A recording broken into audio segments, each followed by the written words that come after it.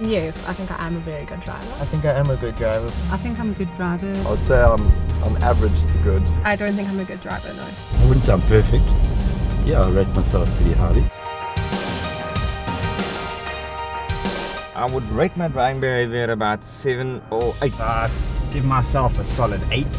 8 out of 10. And I would rate my driving probably eight and a half. I'd rate my driving about a 7 or 8. I'll rate myself ni- uh, 9 out of 10.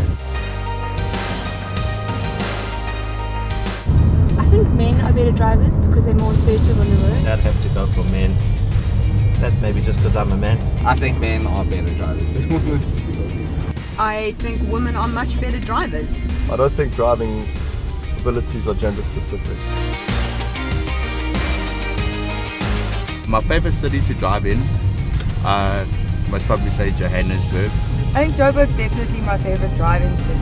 My favorite driving city is Pretoria because um, it's not as hectic on the road. My favorite driving city would have to be Durban.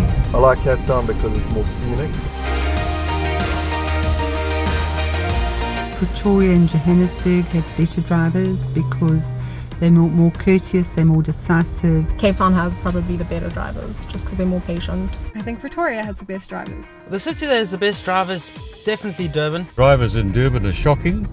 Uh, my experience of the drivers in Cape Town and Johannesburg is that they're also just as shocking.